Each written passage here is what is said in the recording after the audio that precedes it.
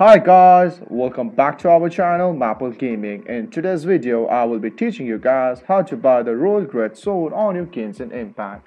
So at first, just open your game through the Epic Games launcher.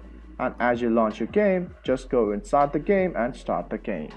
And guys, as you're in game, all you have to do is press the escape button on your keyboard to open the menu at first and as you open it go to the option shop right here and just select it to view the shop page at first. And as you view the shop page again go for the fourth option on your left Paimon's bargain and just select it. And as you select it you can see your royal great sword right here which is a very rare item. And to get this item you need this Masterless Starglitter. So if you have it you can just press on the option actions and get the sword for yourself so guys, that's how you get the Royal Great Sword on your Genshin Impact. If you find our video helpful, please leave a like and please do not forget to subscribe our channel. Also hit the bell icon to get updates with our latest videos.